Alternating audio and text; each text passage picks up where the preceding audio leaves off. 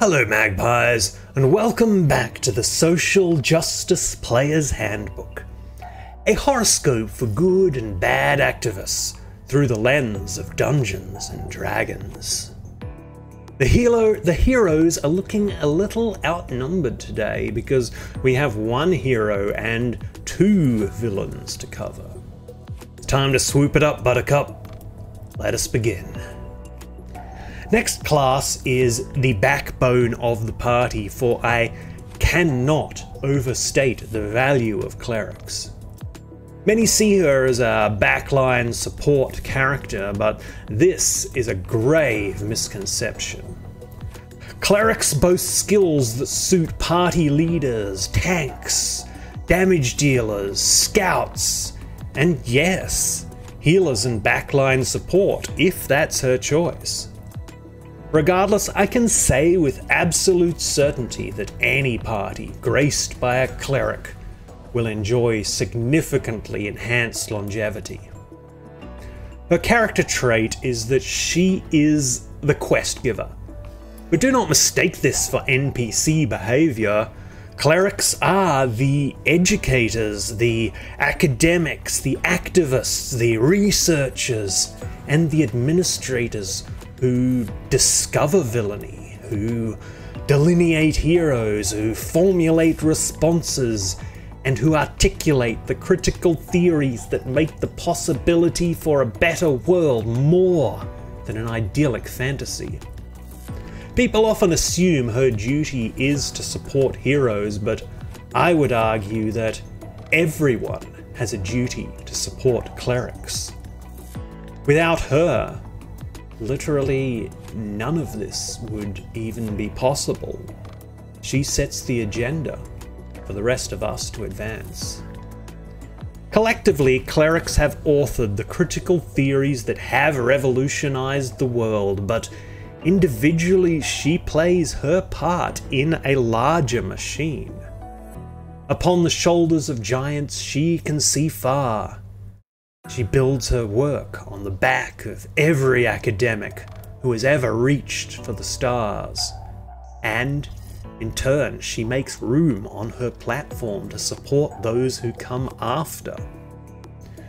Do not make the mistake of viewing challenges to her sermons as merely discrediting them. For each antithesis paves the way for a new synthesis and the conversation evolves to suit the needs of the age. Faith in the process. Faith, this ranks among her greatest strengths, and it is necessary for everything she does. Advancing the macro through her micro specialization, it is not uncommon, provided she is given the chance to advance in her order, or each cleric to become a world leader in their specialty topic.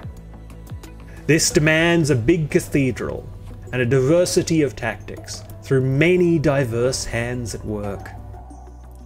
Collectively, she and her ilk author the spells that wizards memorize and recite, and she draws up the battle lines by which a warrior knows that they stand on the right side of history. She is but a pebble in a pond, but by the emanation of ripples, she is legion in ways she cannot even see. Most admirable is her service to the greater good, and in a just society, she would be reimbursed and revered like a sports star. As an expert in the humanities, she is a lifelong student and an admirer of humanity. They are the object of her study, after all. Indeed, the education of the youth is her bread and butter, and without faith in the capacity for good or in the potential for social change that we cannot presently see, what would be the point? Of any of it.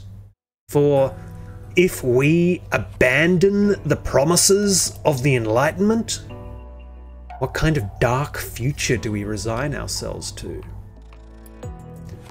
Her weakness is that the demands of academic rigor require her to move very slowly through checks, balances, and red tape to ensure her work is ethical, apt, and salient. Without accountability to sources and without peer review, her work is in limbo. Meaningful revolution without bloodshed is incremental, generational, and incompatible with the speed at which we sometimes need to move at to fight against impending villainy. Many clerics never even get to go on adventures and must direct parties from afar. The institutions in which they operate are often exploitative, ruled by old money and the shadows of dead empires, and offer very few opportunities for tenure. She must teach, she must mark her students' barely literate manuscripts, she must attend staff meetings, she must edit and review manuscripts of billion dollar journals who then pocket all of the proceeds of her labour, she must constantly reapply for her own position, and then, and then maybe, if she burns the candle at both ends, she may find the time to do the research that justifies her existence. Small wonder then that her critical weakness is that she is utterly unappreciated. Sorcerers vacillate between accusing her of being an ineffectual snowflake pushing obvious lies and in the next breath of being a domineering cult leader and a henchman of ivory tower cabals. Her students act like their bad grades are her fault, and the university bean counters demand of her to publish or to perish. Many academics are thus forced out. They give up or they find a much easier and more profitable life shilling for big corporations and conservative think tanks. Or just figure out that it's a lot easier to start the conclusion and work backwards, passing off any old language as science to an unsuspecting audience. These cowards fall into two categories warlocks and necromancers. Warlocks, on the face of it, have little in common with clerics, except for their service to something bigger than themselves. With clerics, it's service to the idea of progress, but for a warlock, it's enough to simply provide legitimacy and cover for whatever her corporate patrons want to achieve. There's really not much more to say than that.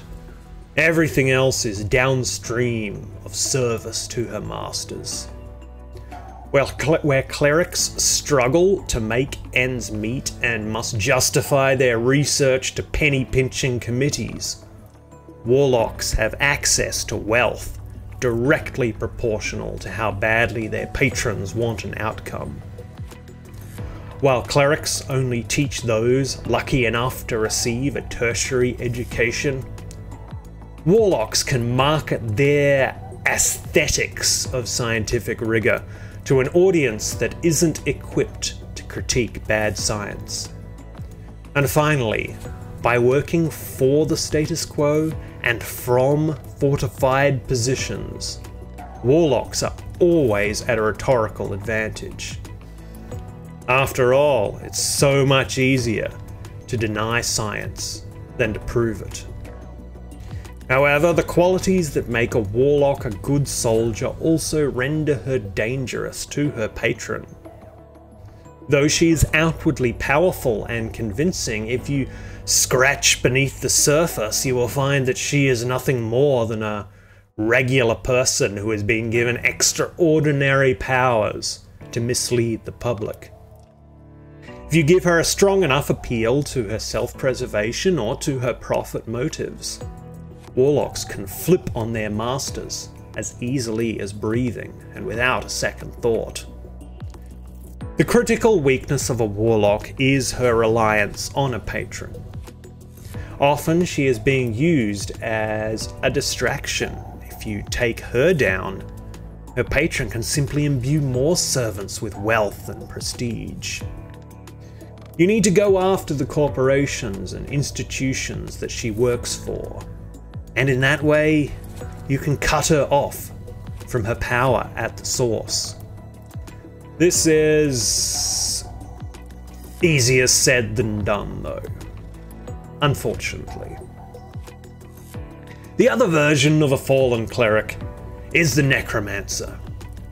This would be academic tied her entire ideology to an idea that has now been struck down so many times it is well and truly dead. But she keeps breathing new life into bad ideas, time and time again. Her fundamental character trait is a kind of transcendental fortitude that defies law and reason. It's like a bunch of kids playing soldiers, and there's one kid who keeps going, nah, you missed, no matter what happens. Except that this kid is now all grown up and has realized that she actually can get away with denying observable reality. You ever see a debate with somebody who doesn't make a single good point and at the end stands up and cheers that she won because she never conceded defeat? You and I, um, well, we might laugh at her, but what we don't see is that her audience fully thinks that she did win, just as a consequence of the aesthetic she emanates of irreverent strength. Ignoring necromancers doesn't make them go away, and in many cases it just gives her time to mobilize her army of shambling zombies to do her bidding. Indeed, conflict and culture war nonsense are her bread and butter.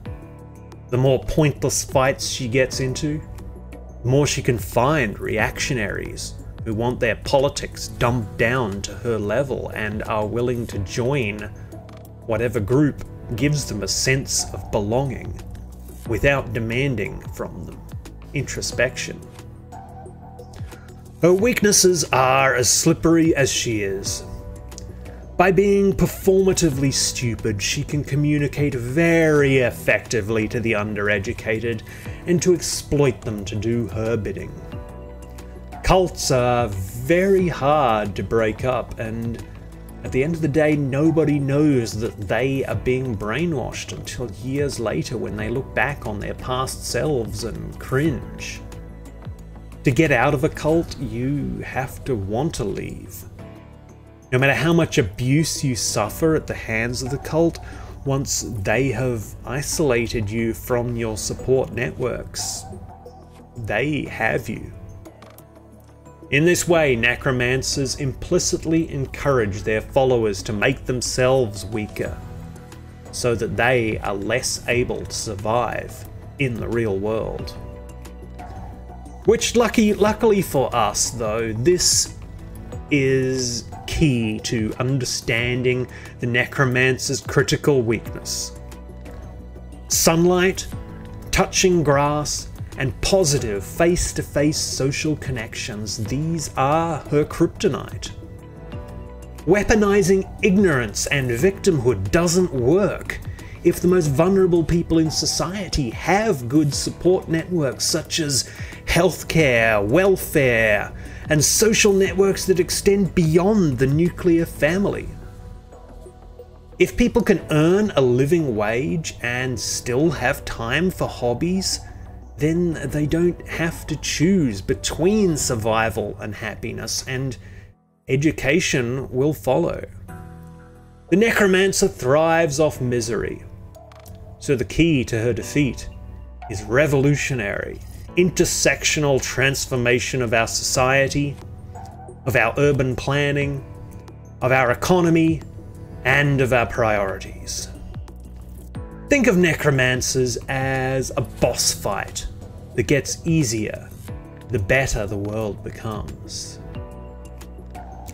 Thank you, magpies, and I must say, shit's getting real. The battle lines are drawn, and it's nearly time to turn the paradigm on its head. I hope you will join me next time on the Social Justice Player's Handbook.